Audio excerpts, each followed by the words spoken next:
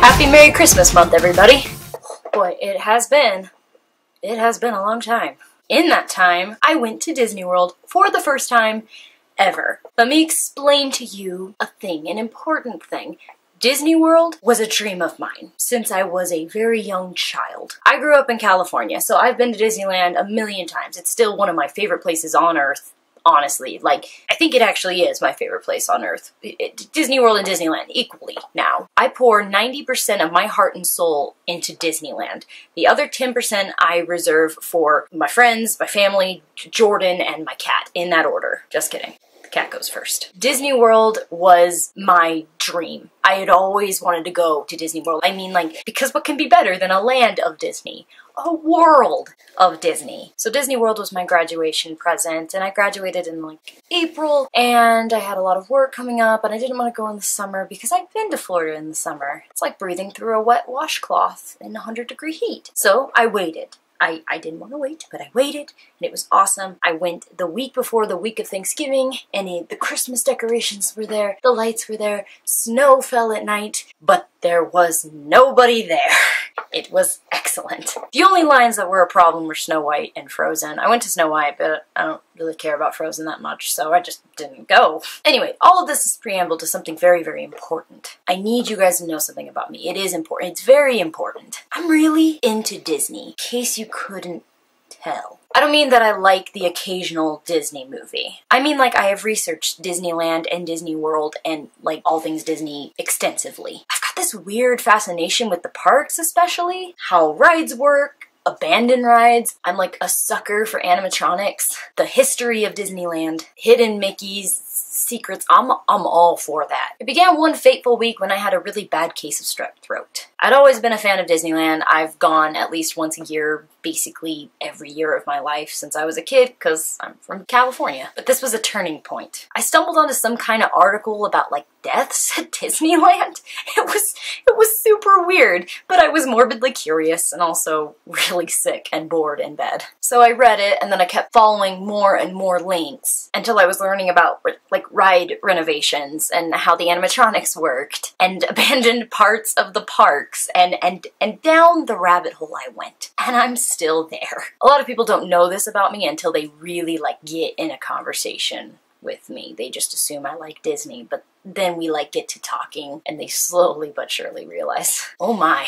So now I love talking about the attractions and the parks and the atmosphere of Disneyland. I mean Disney World too, but I've really only been once and I've been to Disneyland a million times. I was proposed to at Disney. I went to Disney after I got married. I go to Disney every year. That's just the kind of person I am. I've always wanted to talk about this stuff with you guys, but I felt limited by my channel subject. But now I don't care because I'm old and crotchety and I eat popcorn for dinner at 2 in the morning. And I want to talk about what I like so let's go. I'm just calling this Disney stuff for now. Maybe you guys can help me think of a better name for these videos. I don't I don't know. I don't know. I haven't given it much thought to be honest. Like you can do you can you can do all the creative legwork for me. Anyway, today I'm going to talk about my least favorite ride of all the rides in the great park of Disneyland. And I'm so excited because I rarely get to vent about this to people who care. Actually, you might not care.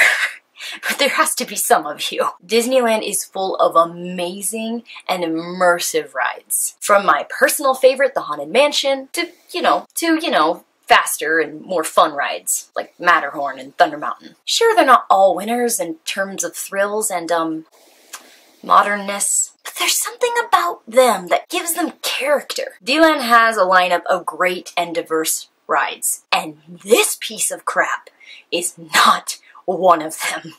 Where do I even begin with Autopia? I've hated Autopia since day one. I doggedly avoided it throughout my childhood because it reminded me of the cars that you would see at mini golf courses and arcades. Because that's basically what they are, except on a track and slow. And I wasn't interested because I had those at home, and they weren't fun there either. But fate is cruel, and my parents gave me a little brother, and at one point he really wanted to go on this very stupid ride. I fought and failed and waited in line in the middle of summer for two hours for this horrible, horrible ride. Oh my gosh, it is so hot outside and you're just standing there waiting in line in the hot sun for, for slow cars. Slow cars on a track, outside in the sun, exposed to the elements. Nothing to look at but fake billboards. Ugh. As you can imagine, going on the ride did not make me like the ride. And I honestly have only been on it once ever since then. Again with small children who really, really wanted to sit in tiny, slow, loud cars. So let's start with the ride itself. This thing goes on forever. Actually, hold on, scratch that.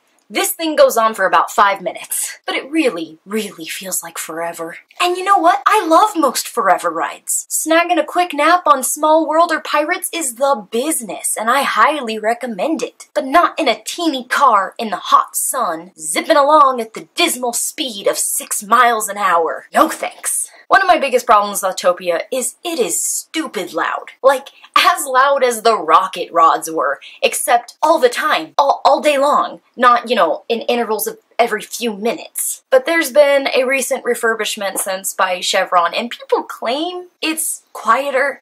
I, I don't know. Um, I can't, honestly, I'm not even sure if I've been there since the refurbishment. I like, I avoid Autopia. I don't even look at it. I don't even look at it when I walk into Tomorrowland. I look straight ahead or to the right or at Astro Blasters. Anything more in this direction, it's nothing to me. It's not there. Doesn't exist. But as far as I know, they're still loud and obnoxious. Stupid loud and obnoxious. Apparently, they've installed quieter car engines. And hey, if that's true, then all that's left to fix is, uh, you know, the boring scenery, the pathetic speed, the fact that the cars break down every five minutes, and uh, getting rid of the whole thing. When Disney started refurbishing, I was so excited because I thought, okay, good, refurbishments are where Disney rides go to die. Sweet.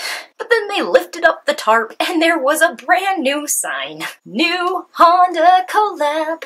And now I'm afraid it will literally never leave. And can't we just talk about the size of this thing? How has it not been scrapped for a billion much better ideas? A Sugar Rush thrill ride. A giant arcade like Disney Quest at Disney Springs, except updated and cool. A Tron roller coaster like they have in Hong Kong. Literally anything. Like maybe, I don't know, a futuristic Marvel ride based off a popular Marvel movie? I'll take a where to put a new attraction for 300. This is what you should do if you want to build a Guardians of the Galaxy ride. What is replace a popular beloved ride in another park where the aesthetics don't match at all? Oh, I'm sorry. The correct answer is to do the smart thing, you dummy. Oh my goodness. Seriously, I can make another video. I can make 10 other videos about all my problems with California Adventure. But what? What? You're, not gonna put this freaking ride in Tomorrowland? You're gonna put it smack in 1920s Hollywood? In California Adventure? And you're going to replace Tower of Terror with this? And at first I was like, well, okay, maybe Disney will get rid of Autopia and they just want to put something else in that massive space. Like, wait, you're putting Star Wars Land where? Okay, okay, I realize. I'm not an Imagineer or a businesswoman, or a ride planner or builder. I don't have access to Disney's fiscal records, or contracts, or business plans, and I'm just a mere mortal. I can own up to that. But it seems to me that the best thing to do here is get rid of this dismal giant Innoventions building, which as far as I can tell is nothing but a glorified character meet and greet, and this nightmare ride, and then put your Star Wars stuff here, you know, by the rest of the Star Wars stuff. That's just me. That just seems the smartest. I can't imagine that the transition from Frontierland to frickin' Star Wars land is gonna be all that seamless. But hey, back to the nightmare ride. You know what else bothers me? This is called Tomorrowland. You walk in and it's like rockets, interstellar travel, the future, and then cars? It's just, it's just cars, man. It's the thing you sat in on the 22 in bumper to bumper traffic on your way to the flippin' park. It's a it's a car. Not even a future car. Not even a Cars movie car. A car. Yeah, hey, you know, I was also thinking of new ideas for Tomorrowland. Like, hey, what about the magic two-wheel ride? Or the moving stairs adventure? You know, cool future things. I should make it clear that while I love a lot of classic Disney rides, I'm not really a purist. If something has run its course 9 out of 10 times, I am a-okay with being done with it. If it's gotta go, it's gotta go, and this thing has got to go. Why won't I say the same thing for other slow rides like Small World and Snow White? Because things are actually happening in those rides. Actual things around you. Animatronics. Music, characters, wow. But no, Autopia's too good for that. Who needs a stellar atmosphere when you've got billboards and car statues and trees? Now, if you like Autopia, I'm not making fun of you, I promise. There are a lot of attractions that I like that many people hate. If I had it my way, I would spend half my time in the Tiki Room because I love it. This is just one fan's opinion. Get rid of it, Disney. Please. Please stop renewing these contracts. Please get rid of it. It's huge. It's noisy. It's boring. And then when you're done with that, we could talk about those submarines, or should I say claustrophobia for the sake of screens underwater.